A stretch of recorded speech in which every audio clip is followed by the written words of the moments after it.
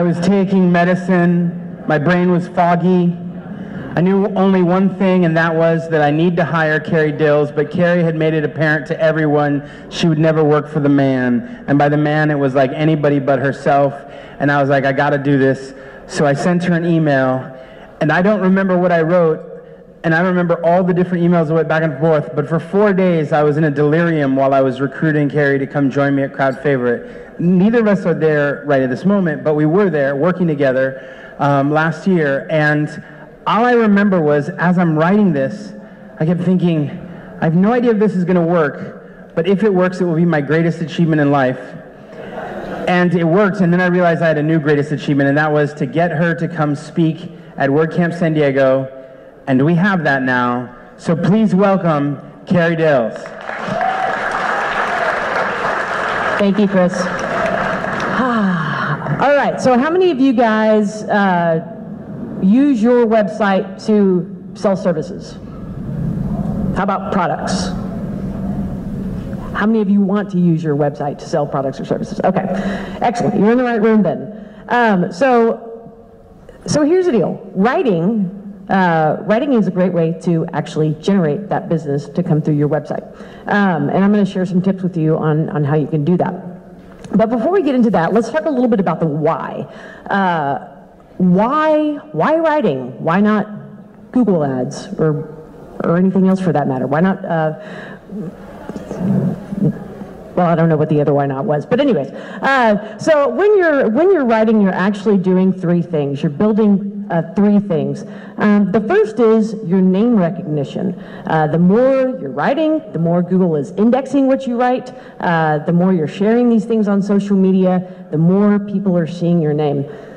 Uh, I do a lot of work uh, in the Genesis framework, and a few years ago, that was a relatively small community. It was kind of like a little, little town. Everybody knew everybody. Uh, and there was this guy named uh, Sridhar, never heard of him, uh, but one day somebody shared one of his blog posts on social media. Went, read it, great, immediately forgot his name. Uh, a couple weeks later, I was uh, in a Studio Press forum answering a question, and, and there I see that uh, Sridhar's beat me to it and already got the answer in there. And I'm like, oh, sweet, okay. And it didn't take long before I just started seeing his name everywhere.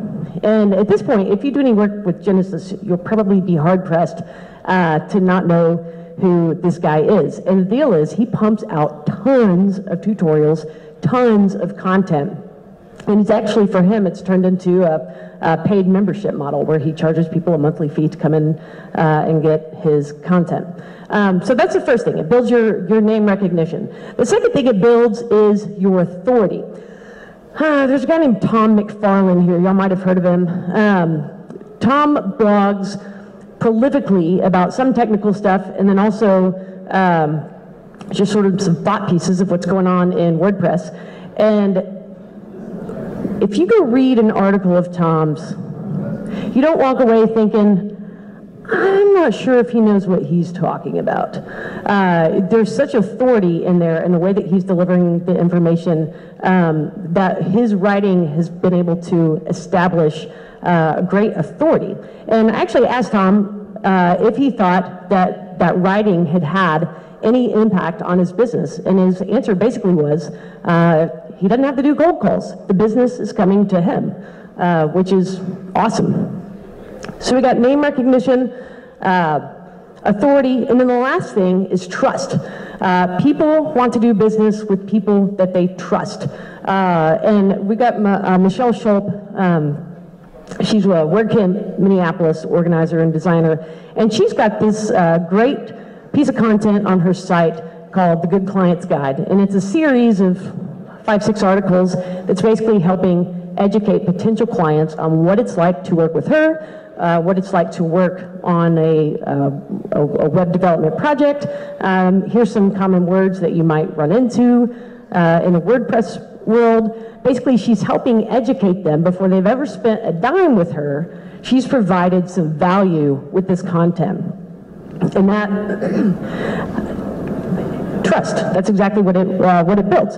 So let's say let's say you've got all this name recognition, authority, trust, people are banging down your door wanting to do business with you. Okay, the leads the leads are flying in. Here's the deal. Not all leads are leads that you want to do business with. Um,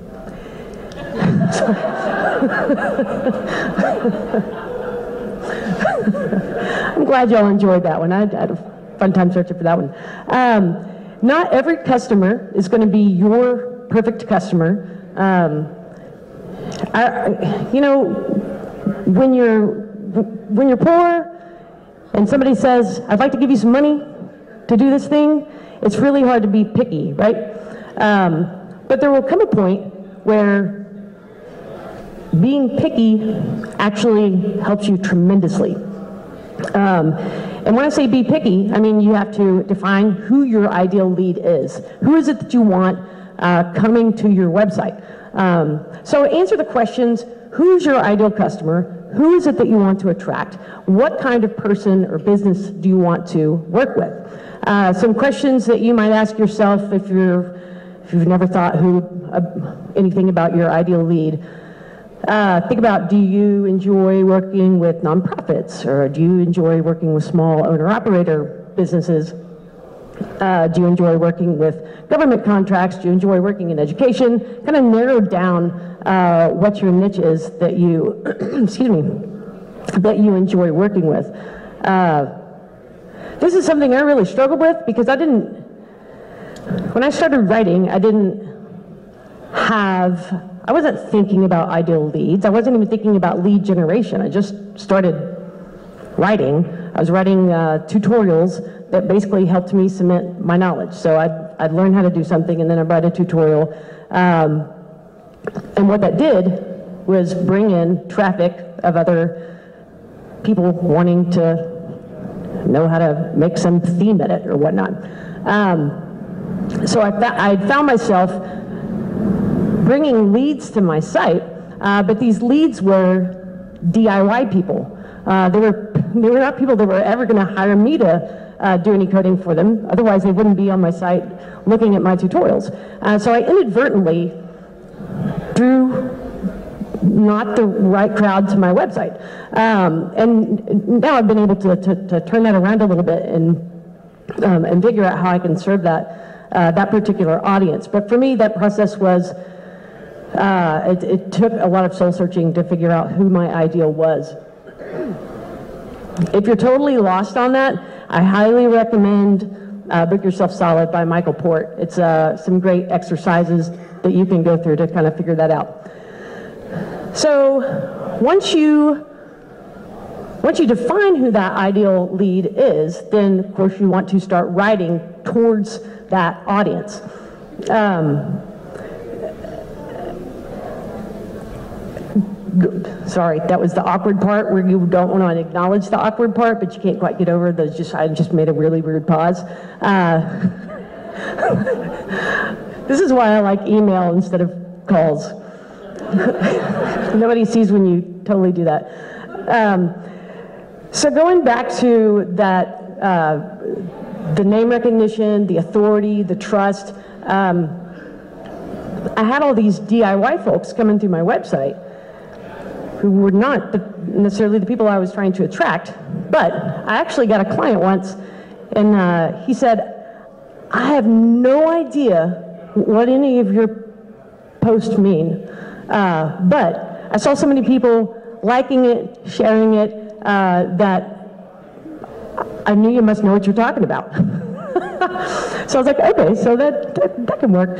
Um,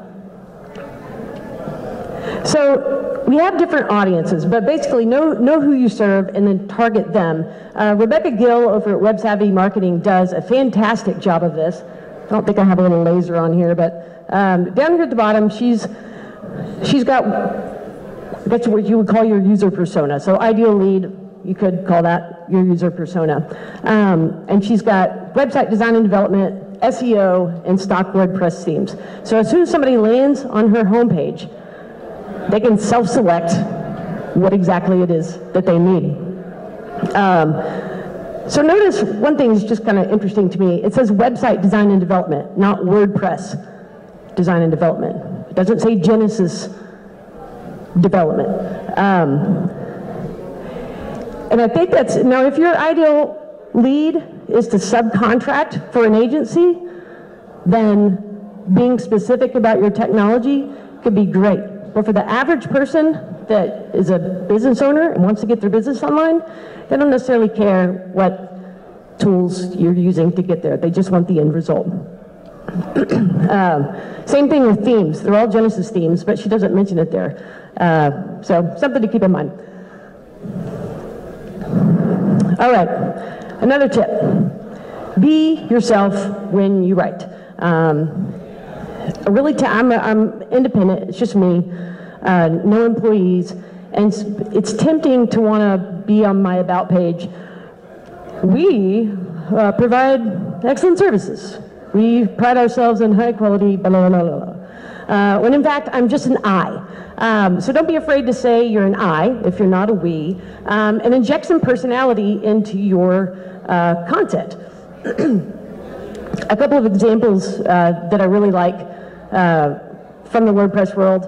Uh, this is Curtis. He throws a uh, Curtis McHale. He throws a custom uh, Lego photo on every single blog post that he writes, and they're always relevant to the topic of the. Pro- I'm like, how did you even? How did you find that Lego or, or Whoop, sorry. Uh, yeah, so that's a great example of how he's injecting a little something uh, that he enjoys into his writing style. Um, another one, this is Lindsay Riel from uh, Pretty Darn Cute Design. I'm just going to say, take a stab. If you've never met Lindsay, do you think she's a girly girl? Does this look like somebody that likes bows and peak things? Yes. Uh, and I, I, she's, she's a sweetheart. Uh, but her website speaks so much to her personality. Uh, lastly, here we've got one from MailChimp. How many of you use MailChimp? Uh, wow, everybody. Um, I don't know about you, but I feel rock solid when I queue up an email. I mean, I'm getting the high fives. Uh, if you've ever read some of their knowledge-based articles, they've got just uh, you know the little monkey that they use. Um, tons of personality there. Excuse me one moment while I take a sip. Talk amongst yourselves.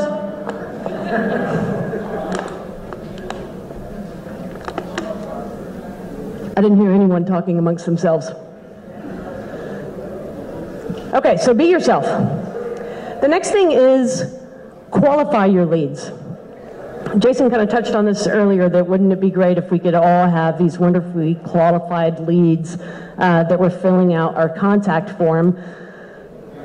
It's rarely the case, but we know that you don't want to do business with just anybody and everybody. Just because they land on your site uh, or like your content doesn't necessarily mean that they're a good fit for you.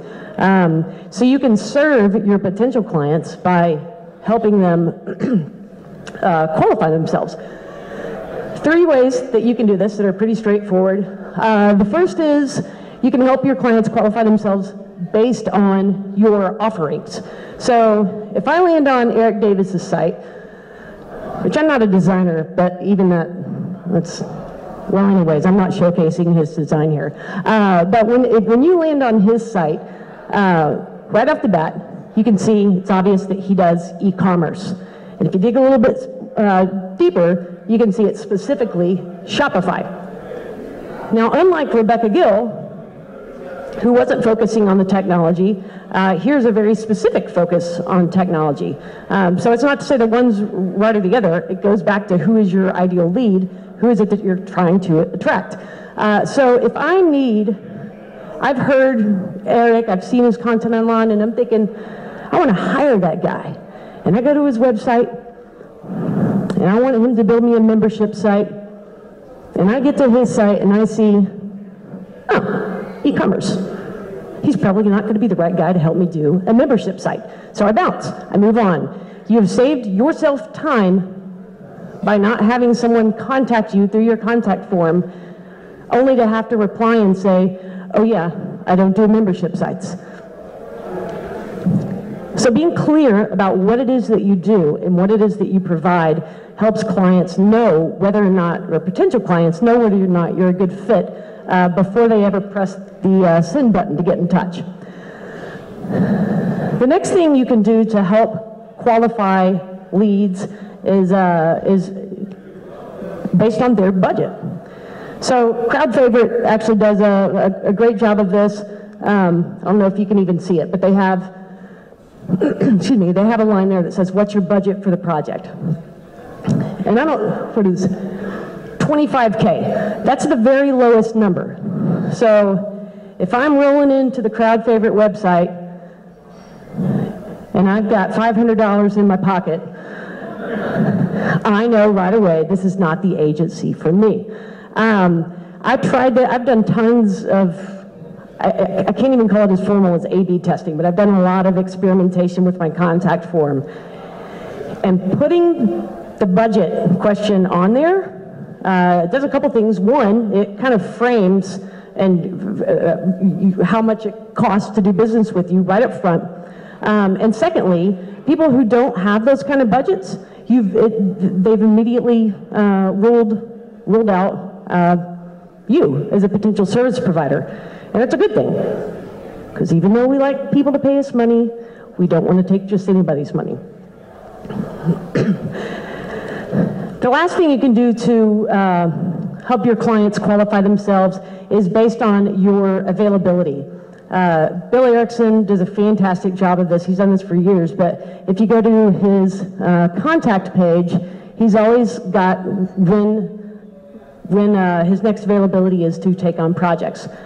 Which, if I come to Bill's site and I need this site yesterday, and he's not taking projects until July, then I know Bill Erickson is not going to be the service provider for me.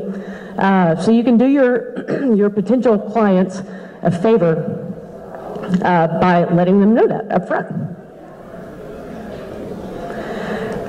So you're writing tons of amazing content.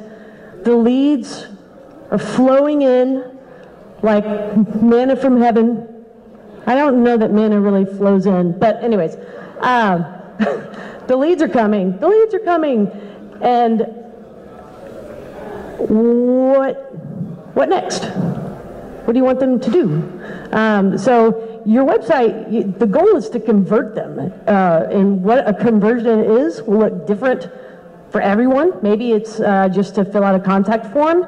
Maybe it's to sign up for your newsletter. Maybe it's to click the buy now button. but whatever it is that you want your clients to do, make it easy for them to work with you uh, by making it obvious what they should do, uh, what they should do. So you can lead your leads several ways. Uh, one is with a clear call to action. So this is another example from the Web Savvy site, but um, she's got a little, little text there about uh, let's create something together, and then a blue button that's just say hello, and I want to, I want to push that button. Um, another example, uh, Rainmaker, they use their call to action up in the, uh, actually as part of their navigation. Uh, Andrea Whitmer over at Nuts and Bolts. Uh, this is on her homepage. She's got the big, I'm ready.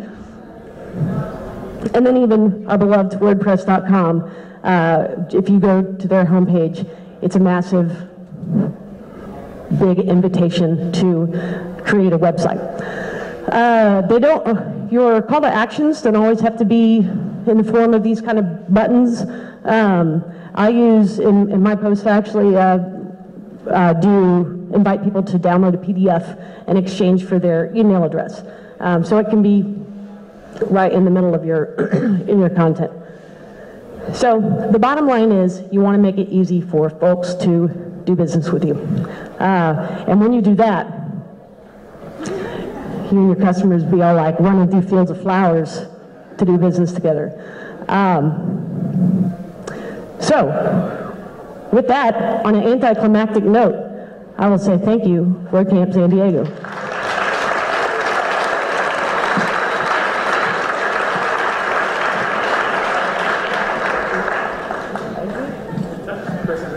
Oh, talk amongst yourselves. I finished early, so I, you now have the gift of five minutes.